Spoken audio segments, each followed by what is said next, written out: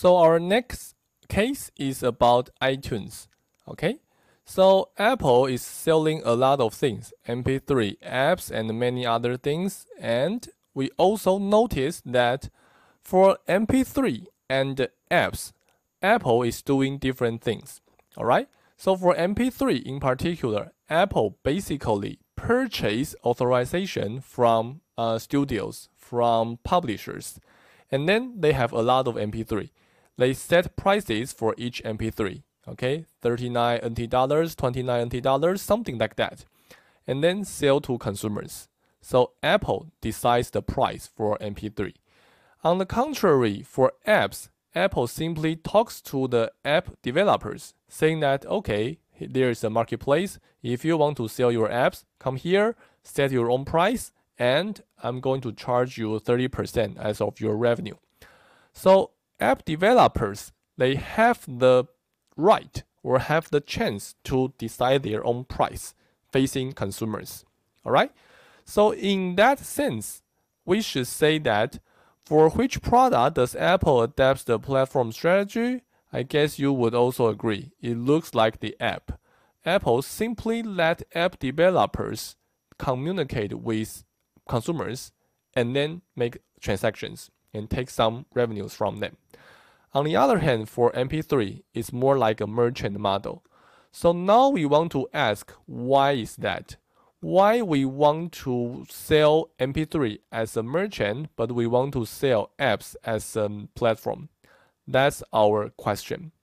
Okay, so there are certainly many different reasons. So I'm going to again uh, allow you five seconds. You may pause the video for a while to think about it before I talk more.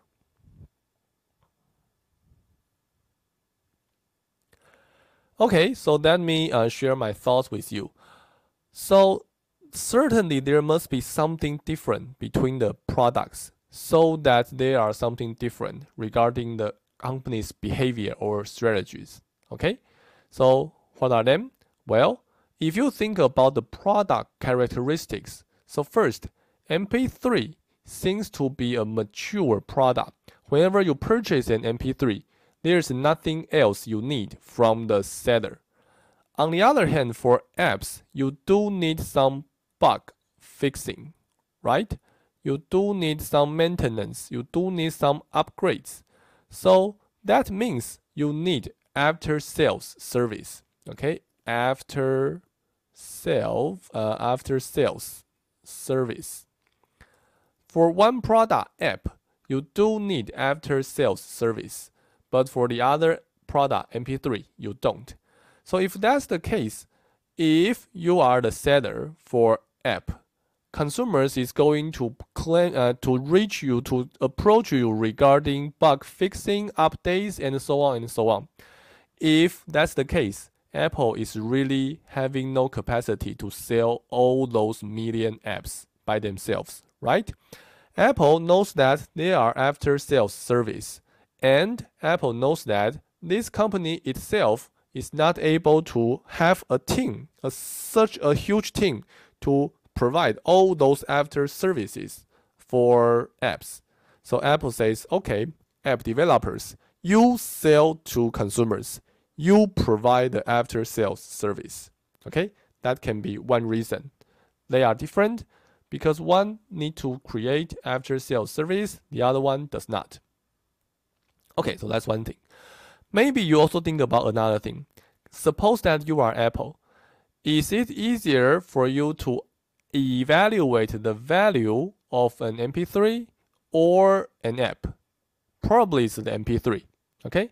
For each MP3, you first look at who is the singer. If it's Mariah Carey, Michael Jackson, you know it's going to be somewhat popular. If the singer is unfamous, mm, then it's not going to be so popular typically. Uh, you may have one or two persons listening to the MP3 and make some decisions. You are not always correct, but you are not know, uh, you still know something. Uh, so that's about music. That's about MP3. It's not so difficult to do the valuation. But if you are talking about apps, uh, whether this is written by a big company or a small company uh, doesn't matter and it's very difficult for you to check whether there is a bug, whether the app is of high quality, whether the app is really useful, whether the app is going to be a hit. So valuation for app would be hard if you are Apple, if you are not a developer. So what does that mean? That means if you are Apple, it's not very easy to do effective pricing for app because you don't know whether it's going to be a hard sales. You don't know whether it's of high quality. For MP3, pricing is much easier.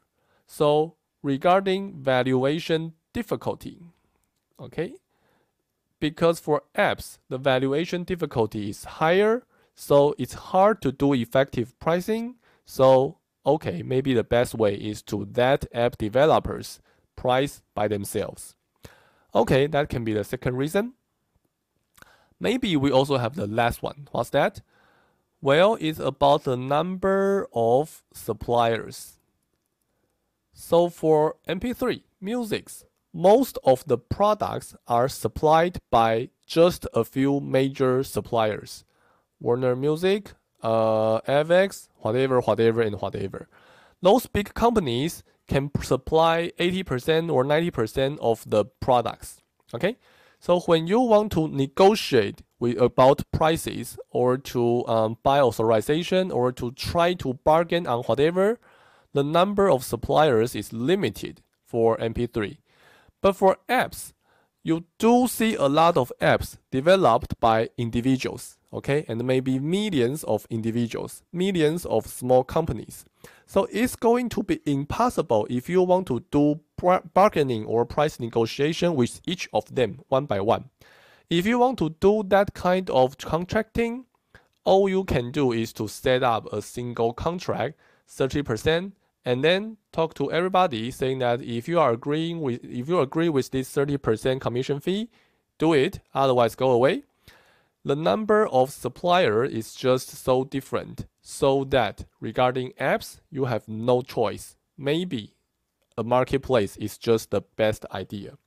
So in my opinion, regarding pricing itself, if you are going to sell one product on your website and suppose you are able to do pricing effectively, efficiently, then you will want to do that. You will give up this pricing chance, pricing right, only if you are forced to do that. For apps, it's just too difficult, too difficult, too difficult, so that you create a marketplace instead of a merchant for apps. Uh, that's my opinion. So these are some things to keep in mind when you are thinking about whether you want to price these products or let those developers do the pricing.